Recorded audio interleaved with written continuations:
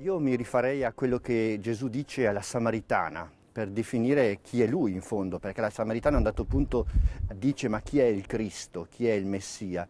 E lei, e il Signore dice è colui che parla con te. Ecco, a Pasqua io credo che abbiamo eh, la conferma che Gesù è colui che parla con, eh, con ciascuno di noi e parla eh, con una parola che arriva a raggiungerci da oltre la morte e pronuncia il nostro nome in una maniera che non abbiamo mai sentito. Ecco, credo che sia questa l'esperienza di Pasqua, il sentirsi chiamare da Gesù come dal vivente che ci eh, dà la forza di vivere già adesso una vita che non teme più la morte. Questo è importante anche per le persone di oggi. Eh, direi proprio di sì, perché il grande stupore è proprio eh, accorgerci che c'è qualcuno che è con noi, è radicalmente con noi, eh, stabilisce un rapporto con noi anche dentro l'esperienza dell'inevitabile, dell'apparentemente irreversibile, anzi dell'irreversibile come la morte. E lì troviamo un volto, un nome, qualcuno che ci, si rivolge a noi e ci fa sentire la sua presenza. Ecco, Pasqua è, è stupore perché ci fa scoprire come persone in relazione, radicalmente in relazione, morte, una, una relazione che neanche la morte può spezzare. Uno stupore come questo l'abbiamo trovato intervistando il cardinal Ernest Simoni, albanese che è stato prigioniero per molti anni sotto il regime comunista. Ascoltiamo cosa ci racconta.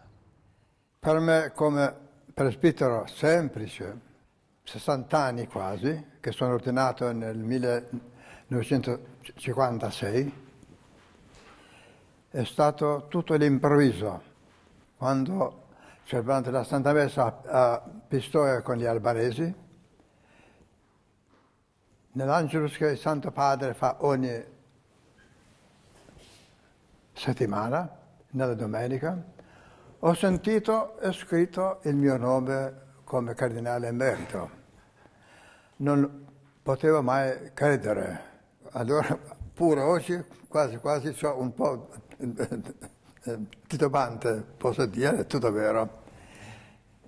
Ma per essere missionari di Gesù, per emanare l'amore per Gesù, è il nostro primo obbligo. Per salvare le anime, i pastori che Gesù ci chiede a noi ogni giorno, ogni ora, per fare tutto l'impossibile, avvicinare i giovani, i ragazzi, i ragazzi, tutto il popolo, per credere in Gesù, amare Gesù.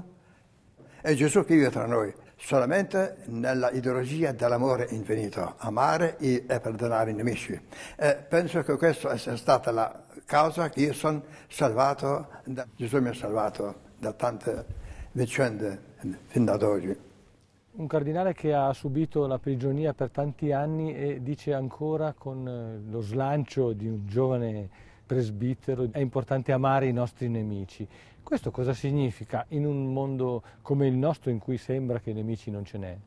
Beh, significa che prima di tutto ci rendiamo conto che una, un amore del genere lo possiamo prima di tutto soltanto ricevere. È Gesù stesso che ci ha amato mentre eravamo ancora peccatori, quindi eh, ci ha mostrato un amore eh, che non si ferma di fronte al rifiuto dell'altro e ce l'ha dimostrato eh, fino a, a scendere nel, nell'abisso del, della morte, nell'abisso eh, dell'abiezione e quindi io credo che da lì che eh, la parola di Gesù, il, il, suo chiamarci per nome diventa una, qualcosa che, che possiamo udire, eh? lo possiamo udire e lo possiamo credere perché lui ha, non, non, ci dice una cosa vuota, eh, ma qualcosa che, eh, che, lui ha mostrato nel partecipare fino in fondo alla nostra condizione di esseri umani, mortali, fragili, e da lì ci dona questa parola che, che, ci fa risorgere. E credo che l'esperienza del Cardinale Simone va proprio in questo, in questo senso, cioè eh, l'esperienza di un credente che si rende conto che la voce di Gesù gli permette di stare nella tempesta perché eh, prima di tutto Gesù si è messo in questa tempesta e viene come l'angelo che viene mandato dal, dal Signore nella fornace ardente per creare questo, questa rugiada che permette al credente di attraversare la prova. Ecco, io credo che sia qui che abbiamo la misura vera del mistero pasquale, eh, un amore che prende così sul serio lo stare con noi eh, da prenderci nella morte e portarci alla vita. Certamente io ogni giorno pregavo nelle miniere dove ero nel carcere, non li accettavano lavorare nelle miniere quei anziani che avevano compiuto 50 anni. Io ero 38 anni, avevo tempo da compiere 50 anni e ho lavorato eh, nelle miniere. Il Signore mi ha, ha pensato di, di, salvarmi.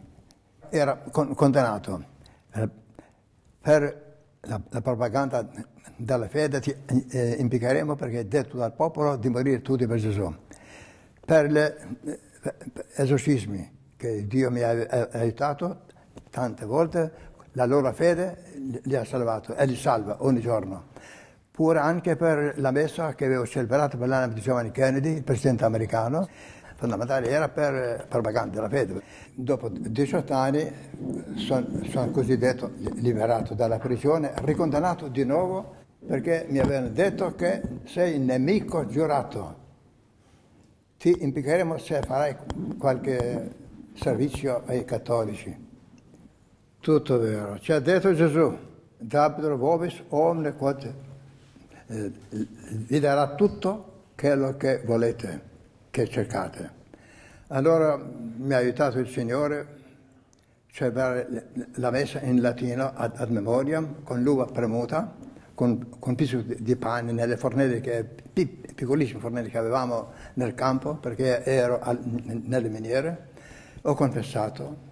Sono impegnato per riconciliare, per pacificare, per aiutare spiritualmente perché erano de, dei momenti molto, molto difficili. E Gesù sempre brillava per, e brilla con, per tutti loro che chiamano Gesù. Gesù è vivo, è potente, è tra noi. Dove sono tu e terzo è Gesù avviciniamo con tutto il cuore, non le parole, con le opere, perché Gesù è la risurrezione, senza Gesù è niente. Il mio augurio è davvero che tutti possano vivere la Pasqua come un incontro, eh, l'incontro con il Signore presente, vivo, che trasmette alla nostra esistenza con le sue fragilità, le sue ferite, le sue povertà, eh, l'energia di una vita che non teme più la morte. Ecco, io credo che eh, non possiamo augurarci di meglio. San Serafino di Sarov quando incontrava una persona salutava la persona dicendo eh, mia gioia, il Signore è risorto. Ecco, è questo modo di vedere che ogni incontro in fondo è la promessa di quell'incontro eh, che facciamo quando ci lasciamo chiamare per nome dal Signore e ci lasciamo guidare da Lui eh, e crediamo che il suo chiamarci è più forte di tutte le nostre povertà, di tutti i nostri rifiuti, di tutte le nostre storie sbagliate e fa rinascere davvero l'essere umano a vita nuova. Buona Pasqua a tutti.